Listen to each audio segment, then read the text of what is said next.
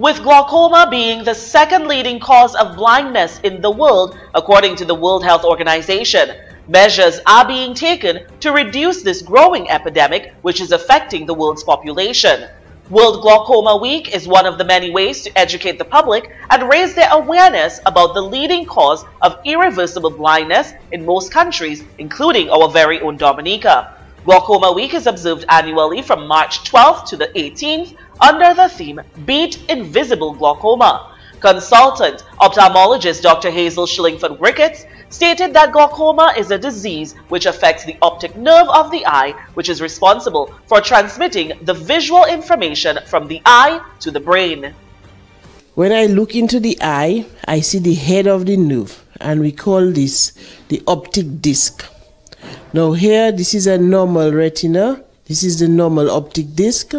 These are the blood vessels and this is the retina which receives the information the equivalent to the film in a camera. Now, as the fibers are damaged from the glaucoma, there is a cup in the center. And as it progresses, you see the cup getting bigger. Now, this means you are losing most of your fibers.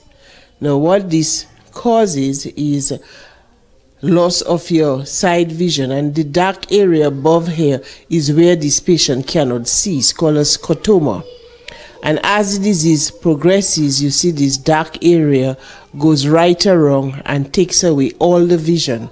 And this is when the person realize something is wrong and they start you know coming to check their eyes and so but by that time it's too late because once you start getting those scotomas or those dark areas it is there for life Ricketts informed that glaucoma is also a degenerative condition which can result in complete blindness. She also underscored the importance of early detection as being the major preventative method of the disease.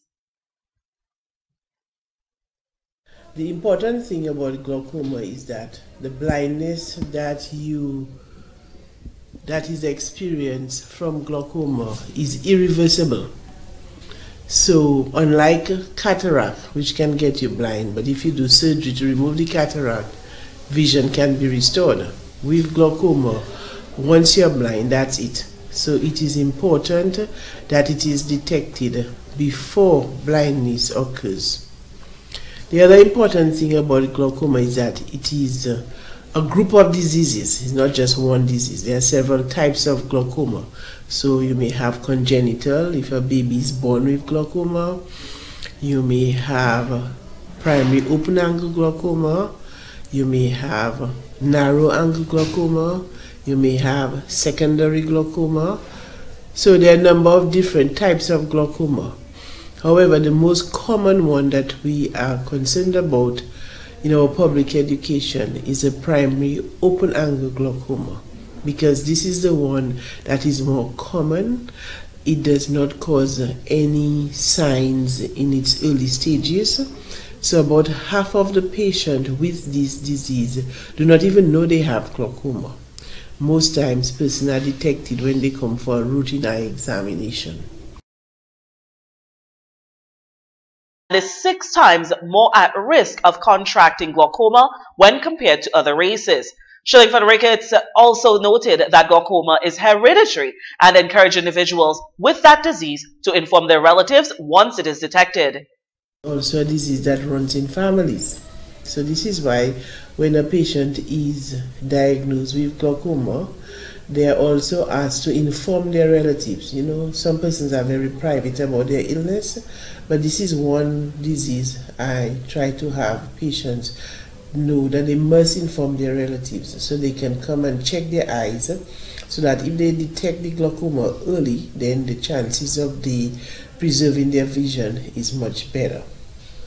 There are other risk factors like patients who may be diabetic, patients who may be hypertensive, patients who may be very nearsighted or myopic, persons who have had um, who suffer migraine, and so, and secondary ones, um, persons who may be on steroid medication either for asthma or for arthritis or so.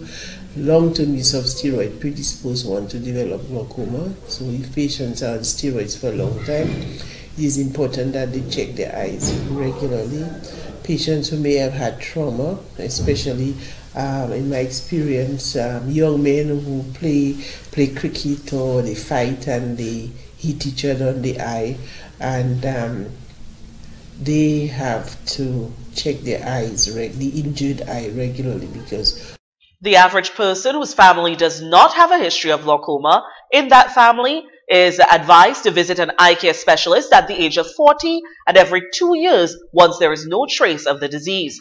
The Ministry of Health has partnered with the Rotary Club to host a health care where free screening will be provided to the general public in observance of World Glaucoma Week. And the challenge of marketing Dominica